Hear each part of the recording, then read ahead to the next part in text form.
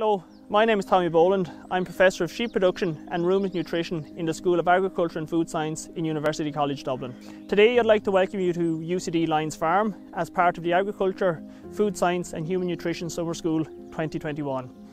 UCD Lyons Farm is an integral part of our activities in the School of Agriculture and Food Science and the School of Veterinary Medicine in University College Dublin. We're located just west of Dublin City off the M7 motorway we're in close proximity to Celbridge, Newcastle and Naas.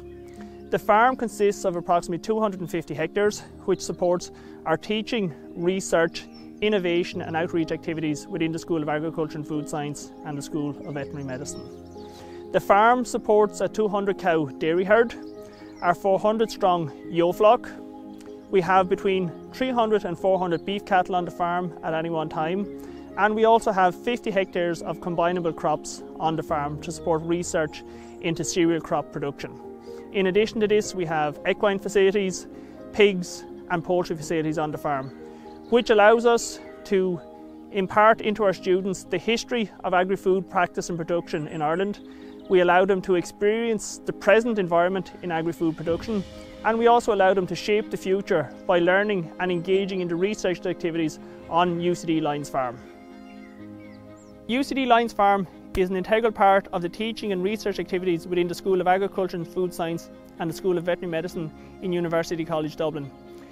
Our students, as part of their undergraduate degree programmes in Agricultural Systems Technology, Animal Science, Animal and Crop Production, Crop Science, Dairy Business and Equine Science, will spend time at the University Farm right across the four years of their undergraduate degree programmes with us in Belfield.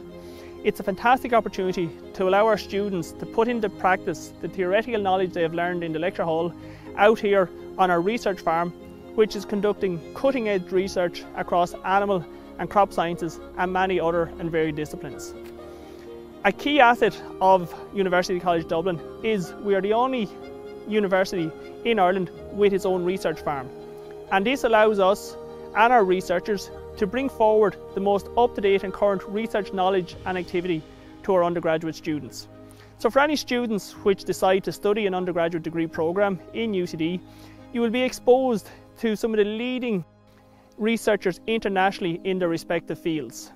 This is a key strength of our education and research programmes as you're exposed to new knowledge and the people who are generating this new knowledge and bringing it forward to support the agri-food industry in Ireland and internationally. University College Dublin is unique nationally as the only university in Ireland with access and the ownership of its own research farm. This allows our staff in the School of Agriculture and Food Science to address the challenges uh, facing the agri-food industry at the moment. Everyone listening today will be familiar with the environmental, climate change and biodiversity challenges facing us all, not least those of us involved in agriculture and food production. I'm currently standing on the UCD long-term grazing platform, where, as part of the Smart Sward project, we're currently looking for solutions to a number of these challenges facing sustainable livestock production nationally. The UCD long-term grazing platform is part of the Global Farm Platform, which is an international collaboration looking at solutions and supporting sustainable livestock production systems. The UCD Lyons long term grazing platform is a globally unique facility as we have 12 2 hectare hydrologically isolated paddocks, which allows us to collect all the drainage water being drained from this area and to analyse it for its nutrient content. This is a massively important resource as we measure the nutrient loss under our various sward production systems in an effort to develop sward production systems which can mitigate and reduce nutrient loss to the environment.